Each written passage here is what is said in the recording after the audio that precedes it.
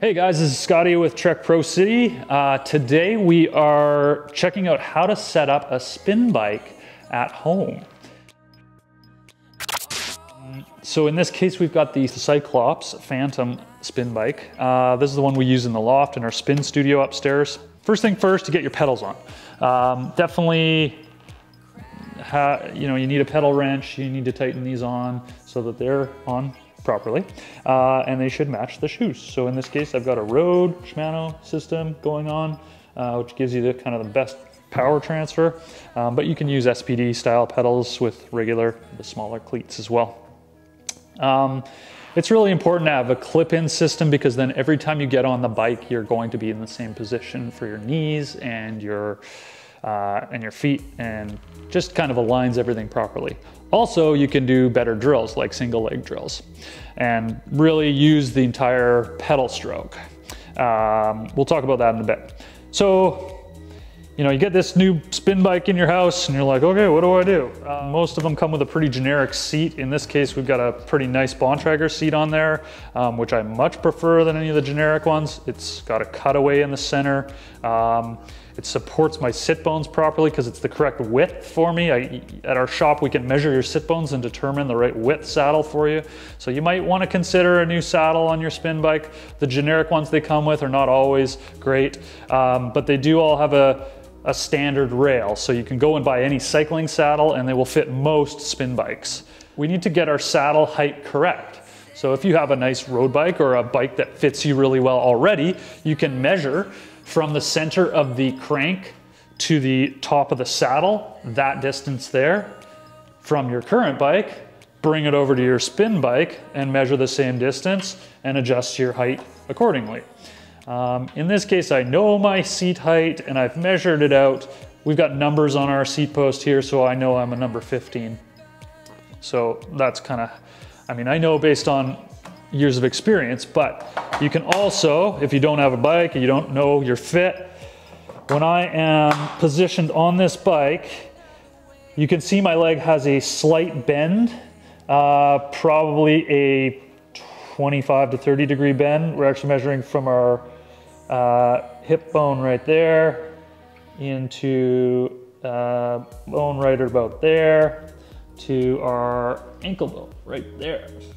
So those three, we're looking around a 30% or 30 degree bend. Um, there are technical terms for these. I'm sorry, I have forgotten them. uh, and that's at the bottom of the pedal stroke. We're not measuring up here or here. It's at the bottom of our pedal stroke. You also notice my heel's not dropped. My heel is at a fairly level position. It's not super high, it's sort of neutral. Um, and my knee's not way out. It's kind of aligned above the pedal. So again, looking for a slight bend there.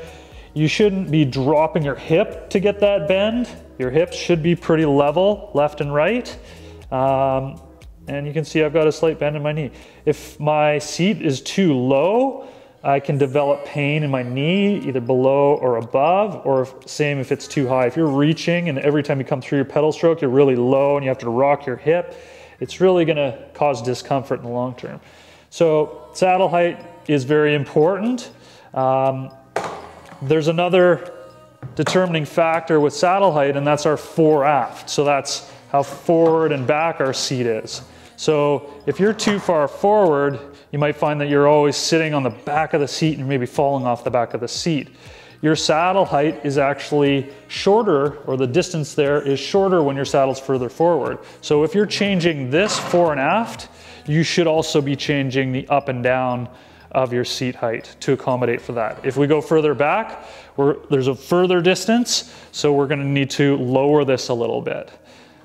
In theory, if you're sitting on your bike and you're spinning pretty quickly, you wanna be sitting on your sit bones on the back of the saddle, and so you can move the saddle to compensate for that, so that you're not sitting on the nose and you're not falling off the back of the saddle. Again, through lots of experience, I know that I, I really like it around the number four there. Um, and once you've got these numbers and you get it all dialed, you don't have to do this again. That's the science behind saddle height uh, in a very simple form. The front end of the bike is very personal. Um, I would highly recommend if you're looking to to really gain fitness and performance out of the, your bike and you have a, a nice road bike, to set it up similar to your road bike. So what I mean by that is if you've got uh, a drop from your saddle, like in this case, I've got about two finger drop, but on my road bike, I probably run actually more like a fist full of drop. So I'm gonna drop this handlebar a little bit lower. Um, also, the distance from the nose of the saddle to the center of the bar and to the hoods. You can measure that from your bike at home and achieve that with the fore and aft of the handlebar. Um, so getting those things all set up is really important. The front end, really, it's kind of up to you. I mean, if you're really just recreationally using this bike at home and you're not looking for like the highest level of performance, you can always just bring it nice and upright, nice and comfortable, great for watching TV uh, and hanging out. But if you're really looking to get serious on this spin bike and train and perform, then definitely setting it up like your road bike uh, is the way to go. Thanks for watching and uh, check out our demo videos up here.